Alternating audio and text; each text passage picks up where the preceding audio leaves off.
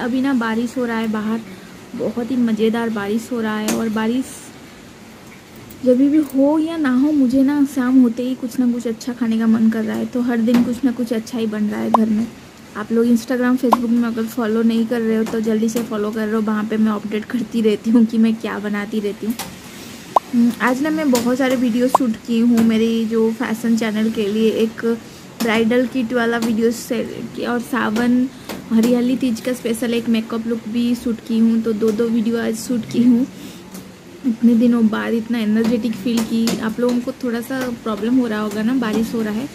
लेकिन यहाँ पे बैठ के बात करने से ही मुझे अच्छा लग रहा है। अभी अंदर जाके बात करने में मज़ा नहीं आ रहा है। तो आज ना क्या बनेगा हमारा डिनर में पता है? अभी इवनिंग हो रहा है तो good evening to all of you आप लोग ना बहुत से लोग मेरे वीडियो देखते हो लेकिन सब्सक्राइब नहीं करते हो तो प्लीज़ यार अगर वीडियो अच्छा लग रहा है लाइक कर दो और सब्सक्राइब करो ताकि मुझे मोटिवेशन मिले आगे वीडियो बनाने के लिए। तो मैं ना सोच रही थी राखी आ रहा है आगे। आप लोगों का राखी का क्या प्लान है? आ, कौन कौन अपने भाई के पास रह रहा होगा? उनका बहुत कुछ प्लान होगा लेकिन मैं तो इतना दूर में हूँ और लॉकडाउन की वजह से घर भी नहीं जा पाई। तो राखी की बात ही सोच के बहुत ही मतलब अच्छा नहीं लग रहा है राखी। जब भी राखी के बारे में सोचती हूँ तो याद आ रहा है मायके का। क्या करे बस सिचुएसन ही ऐसी है। आई होप कि सब कुछ अच्छा हो जाए, जल्दी से घर जाके थोड़ा सा घूम घाम के आऊँगी तो ही अच्छा लगेगा। तो मैं सोच रही थी ना, राखी आ रहा है तो राखी के लिए स्पेशल कुछ मिठाई आइटम आप लोगों से शेयर करूँ। तो अभी सोच रही हूँ आप लोगों से, मैं तो आगे एक वीडियो लाऊँगी, बहुत ही अच्छा वाला वीडियो जो कि राखी प्लेट को कैसे सजाएँगे। राखी में वेराइटी ऑफ़ मिठाई का आइटम वो भी लाऊँगी, लेकिन ये जो मिठाई आइटम वो ओडिया चैनल में आएगा तो इसीलिए मैं सोची इसमें भी एक शेयर करती हूँ। मैं ना आज आप लोगों को दिखाऊँगी आटे से हम लोग गुलाब जामुन बनाएँगे, या आटे का कोई भी मिठाई बना सकते हो आप लोग। बहुत ही यम्मी लगता है, बिल्कुल पता भी नहीं चलता है कि ये आटे से बना है, बहुत ही हेल्दी वाला मिठाई। तो आटे का गुलाब जामुन बनाते ही चलिए। बहुत ही ईजी होता है, बहुत ही जल्दी बनता है तो राखी के लिए आप लोग ट्राई करना ही चाहिए एक बार। तो चलिए स्टार्ट कर देते हैं। आज हम लोग रात में डिनर क्या करने वाले हैं मैं बताने वाली थी ना फिर से मतलब डाइवर्ट हो गई। आज हम लोग रात में करने वाले हैं ब्रेकफास्ट मतलब क्या पता है? आ, मतलब हम लोग सुबह जो ब्रेकफास्ट करते हैं ना आज रात में वो डिनर करेंगे। क्योंकि हम लोगों को अचानक मन किया मेरे हस्बैंड को और मुझे हमारे उड़ीसा का ना एक बहुत ही अच्छा आ, फ़ेमस डिश है। स्पेशली हम लोग जिस जहाँ से बिलोंग करते हैं ना बरहमपुर वहाँ से ही आ, उपमा उपमा मतलब सूजी का हलवा जो बोलते हो आप लोग, वो उपमा, मटर की सब्ज़ी, चटनी और बहुत सारा आइटम रहता है, लेकिन मैं उपमा, मटर की सब्ज़ी, चटनी बनाने वाली हूँ, जो तीनों का कम्बिनेसन बरहमपुर स्पेशली अगर आप उड़ीसा कभी जाओगे तो पूछोगे बरहमपुर का उपमा, मटर की सब्ज़ी और चटनी बहुत ही ज़्यादा फ़ेमस है। तो आज रात में वो बनाने वाली हूँ मैं तो उसका भी रेसिपी आप लोगों से शेयर करूँगी ताकि उड़ीसा का खाना आप लोग भी ट्राई करो। क्योंकि आप सभी लोगों का तो रेसिपी मैं ट्राई करती हूँ। आप लोग भी ट्राई करो कभी, मेरे से एक्सपीरियंस शेयर करो। तो बारिश तो हो रहा है। चलिए, अभी ना कुछ पकवान वगैरह खाने का मन कर रहा है, लेकिन हमारे यहाँ का सिचुएशन इतना बुरा है कि यहाँ पे बिग बास्केट भी बंद है। कुछ भी यहाँ पे डिलीवर नहीं हो रहा है और वेजिटेबल जो भी हम लोग सोसाइटी के शॉप से ले आ रहे हैं, वो तीन डबल प्राइस में मतलब ट्रिपल प्राइस में लेके आ रहे हैं। वो भी बचा मतलब ख़राब हो गया होगा, उसमें से आधा से ज़्यादा वेजिटेबल। तो हम लोग नहीं ला रहे हैं, अभी ऐसे ही खा रहे हैं, मटर चने, ये सब खा रहे हैं। चलो अभी बनाते हैं मिठाई, फिर हम लोग बात करेंगे। ना ये कढ़ाई में मिठा दी हूँ। कढ़ाई गर्म होने के बाद इसमें वन टेबल स्पून से थोड़ा सा ज़्यादा ली हूँ मैं। One and half tablespoon बोल सकते हो, घी ली हूँ, जो कि मैं घर में बनाती हूँ। उसका रेसिपी भी मेरे चैनल में आपको मिल जाएगा कोई ना कोई ब्लॉग में। और घी मेल्ट होने के बाद हम लोग जो आटा में बनाएँगे ना, आटे को, इसमें घी में अच्छी तरीके से फ्राई करना है। आ, बिल्कुल लो फ्लेम में फ्राई करना है जब तक कि एक अच्छा सा स्मेल ना आ जाए। कुछ टाइम फ्राई करने के बाद एटलीस्ट फाइव से पाँच से सात मिनट तक फ्राई करने के बाद ना एक अच्छा सा स्मेल आए, आएगा आटे का। तब तक आपको फ्राई करना है फिर हम लोग नेक्स्ट स्टेप में जाएँगे।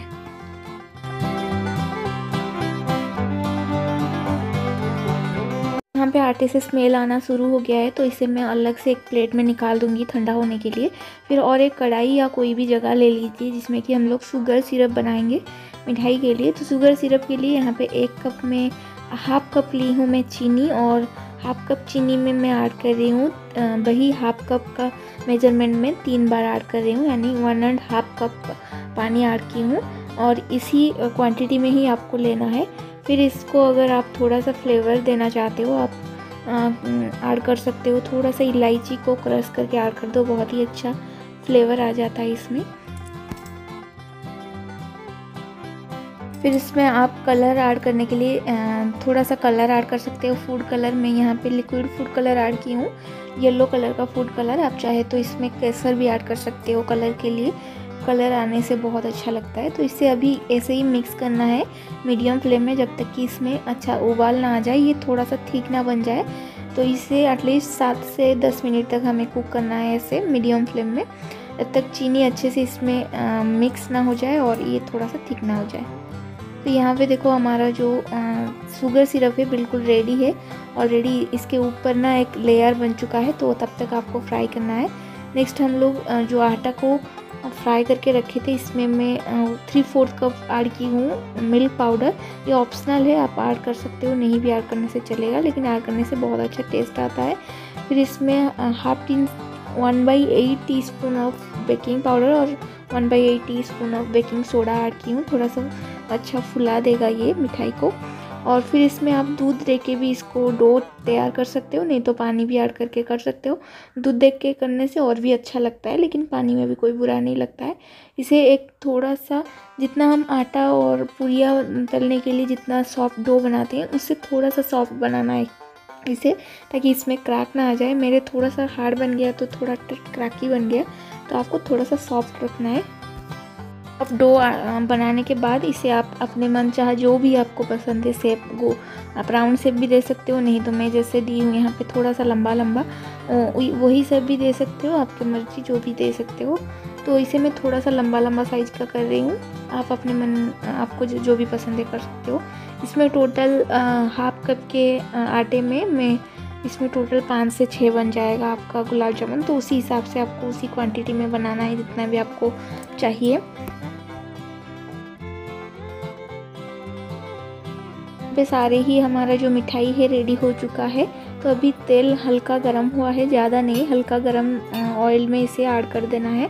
हल्का से थोड़ा सा ज़्यादा ऑयल गर्म है और इसे मीडियम फ्लेम में ही आपको फ्राई करना है तब तक कि इसका कलर गोल्डन ना आ जाए, गुलाब जामुन जैसा कलर ना आ जाए। मीडियम फ्लेम में इसीलिए बोल रही हूँ क्योंकि इसके अंदर नहीं तो कचा रह जाएगा अच्छा नहीं लगेगा और बीच बीच में आपको इसे इधर उधर करते रहना है जब तक कि इसका अप्रोप्रिएट कलर आपको ना मिल जाए।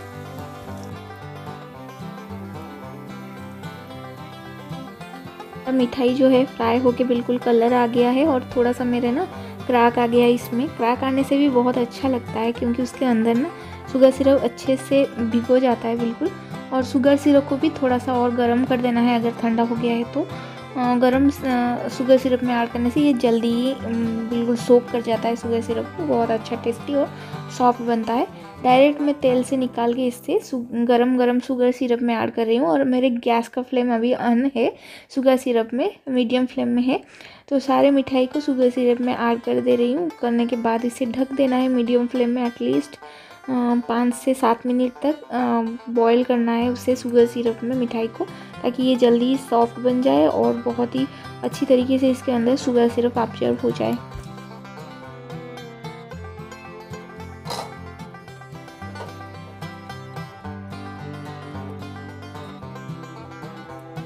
सात मिनट में शुगर सिरप में इसे बॉईल कर चुकी हूँ। ये अच्छी तरीके से बिल्कुल ऑब्ज़र्व हो गया है और बिल्कुल सॉफ्ट बन चुका है। तो अभी इसे सर्व कर लेते हैं।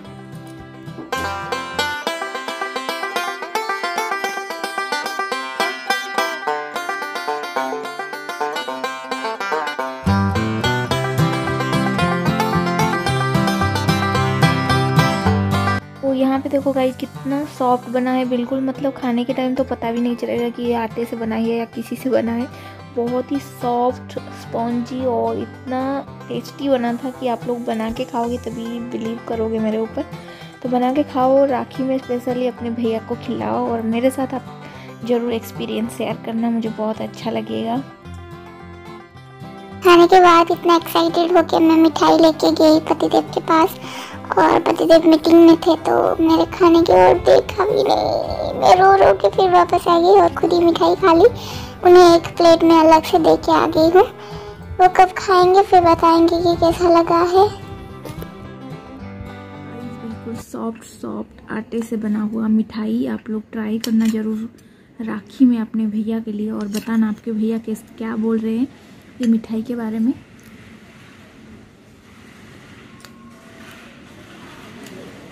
बिल्कुल पता भी नहीं चलेगा कि ये आटे से बना हुआ है।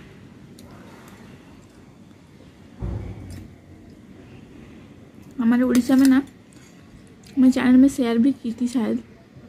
गोजा, खीरो गोजा रेसिपी वैसा ही लग रहा है बिल्कुल।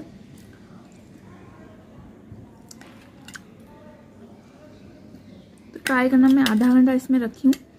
और भी थोड़ा सा इसके अंदर जो शुगर सिरप है नहीं गया है तो आप एक घंटा के करीब रख दो, गर्म शुगर सिरप पे तो बहुत अच्छा लगेगा।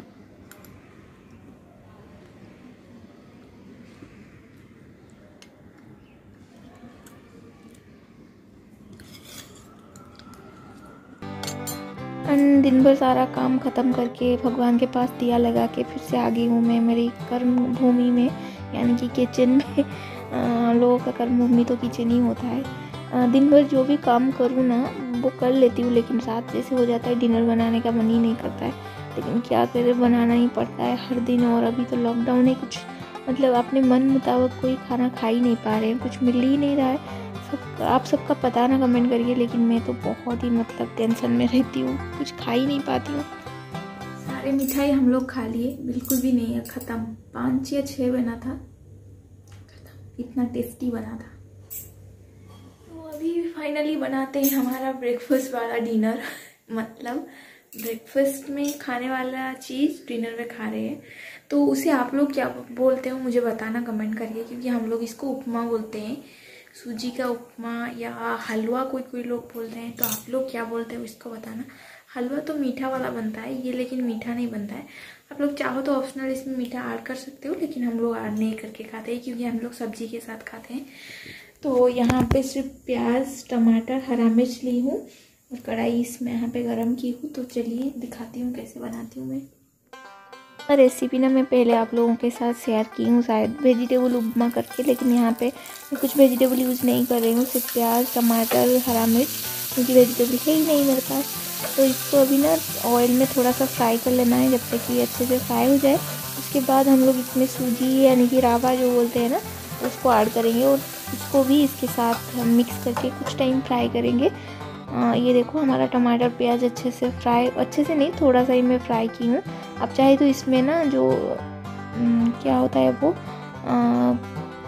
करी पत्ता करी पत्ता भी ऐड होता है लेकिन मैं ऐड नहीं की हूँ। आप चाहे तो ऐड कर सकते हो। रात हो गया था और मैं मेरी गार्डन से लाना ही भूल गई। और हम लोगों को उड़िया में बोलते हैं रात में ना पेड़ पौधों से लगना नहीं चाहिए।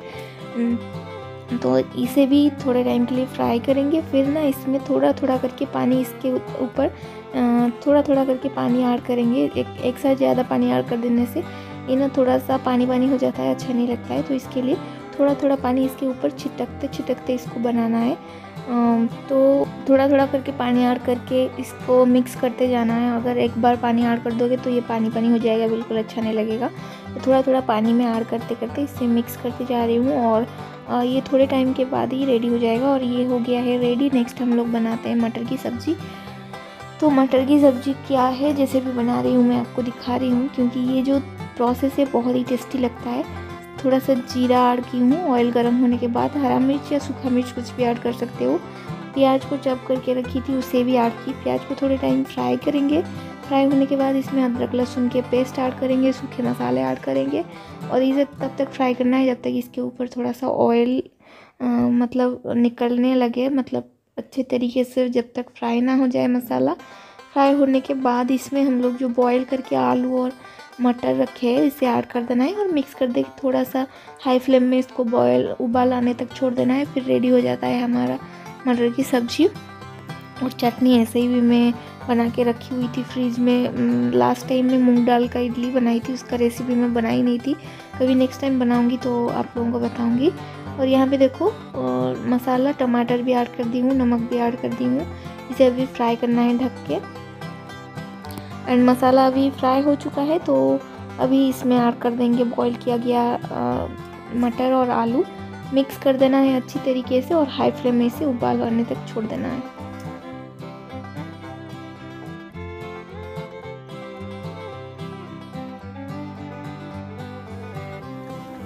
थोड़ा सा बॉईल होने के लिए मैं हाई फ्लेम में छोड़ दी हूँ और उसके बाद रेडी हो जाएगा हमारा मटर की सब्ज़ी। आप लोग मटर की सब्ज़ी कैसे बनाते हो मुझे बताना। हम लोग तो ऐसे ही बनाते हैं उड़िया में। सर्व करना है ये देखो हमारा मटर की सब्ज़ी। आप लोग मटर की सब्ज़ी कैसे बनाते हो बताना मुझे। और ये है हमारा उपमा वेजिटेबल उपमा। शायद कभी मैं शेयर की थी मेरे चैनल में। और ये है बादाम की चटनी, यानी कि पीनट चटनी। ये मैं पहले से ही बनाई थी, एक बार मूंग डाल के इडली बनाई थी परसों शायद वो बच गया था तो फ्रिज में रख दी थी। तो ये तीनों खाएँगे हम लोग ब्रेकफास्ट वाला डिनर चलिए सर्व करके दिखाती हैं।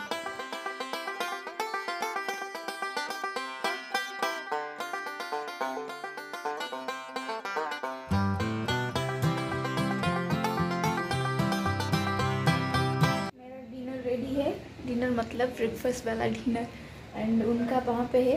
वो कभी भी उन्हें बुलाती हूँ ना खाने के लिए, वो डिनर हो या लंच हो या ब्रेक ब्रेकफास्ट हो, वो हमेशा आधा घंटा लेट में ही आते हैं। मैं ऐसे आधा घंटा बैठती हूँ और यहाँ पे हमारा लैपटॉप लगा हुआ होता है। भाभी जी घर पर है सीरियल है ना कॉमेडी वाला।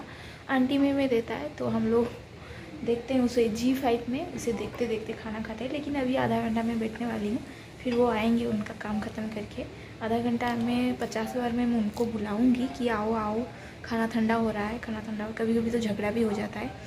तो आप लोगों में से किन किन का पति ऐसे करते हैं, मुझे बताना। मेरे पति तो हमेशा करते हैं। मैं मैं बिल्कुल हावी हाविचुएटेड हो गई हूँ ये सारे चीज़ों से।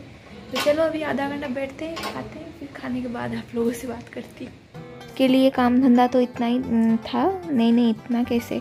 किचन भी तो क्लीन करना है। नाइट का ये सबसे बड़ा हेक्टिक काम होता है कि खाना खाओ और सोने जाने के लिए सोचो, तभी याद आता है कि अरे यार किचन तो क्लीन ही नहीं हूँ, बर्तन तो क्लीन ही नहीं की हूँ। मेरे साथ तो ऐसे ही होता है, रात में बर्तन क्लीन किचन क्लीन ये सब बहुत ही बड़ा हेक्टिक काम होता है। अगर किसी भी दिन टायर्ड होकर सो भी जाओ, सुबह उठ के और भी बड़ा हेक्टिक हो जाता है कि यार किचन क्लीन नहीं है, चाय कैसे पीऊँ? क्योंकि सुबह सुबह चाय पीने का आदत तो मुझे बहुत है। आप लोगों में से किस किस को सुबह सुबह चाय पीने का आदत है, मुझे बताना कमेंट करके। यहाँ पे सारे बर्तन क्लीन कर रही हूँ। बर्तन क्लीन हो जाने के बाद किचन भी क्लीन करूँगी और लास्ट में मैं क्या करती हूँ, दूध गर्म करती हूँ, हम दोनों रात में दूध पीते हैं तो किचन को क्लीन करके ही सोती हूँ क्योंकि सुबह सुबह उठ के किचन क्लीन करने का मन ही नहीं होता है और रात में क्लीन कर देने से ना ईजी होता है। तो अभी मैं दूध से मेरा जो दूध के ऊपर जो आ जाता है ना मक्खन उसको निकाल के रख रही हूँ फ्रीज में घी बनाती हूँ उसी से मैं और अभी दूध निकाल लूँगी, दूध लेके जाऊँगी और पीजे पियेंगे गर्म, ना गर्म दूध और आ जाएगा हमें नींद, सो जाएँगे हम, फिर उठेंगे। सुबह होगा तो लॉकडाउन में ऐसे ही होता है और यही चल रहा है रूटीन तो चलो गाइज़ अभी जा रही हूँ मैं। Good night bye bye take care